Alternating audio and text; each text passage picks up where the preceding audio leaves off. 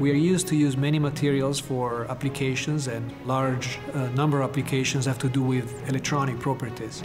And what we're used to see are metals and, and semiconductors, which often we, we still describe in terms of what is classical physics, motion of a charge from one location to another. When we talk about quantum materials, what we mean are properties which are intrinsically quantum mechanically and they are so at the macroscopic scale. One such property is superconductivity, another one can be magnetism.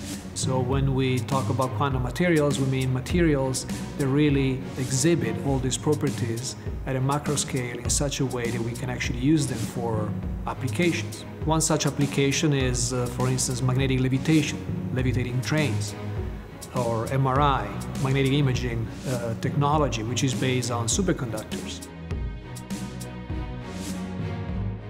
We have, for instance, been uh, working on using graphene, which is a, a, famous single layer of carbon atoms, whose discovery led to the awarding of a Nobel Prize a few years ago.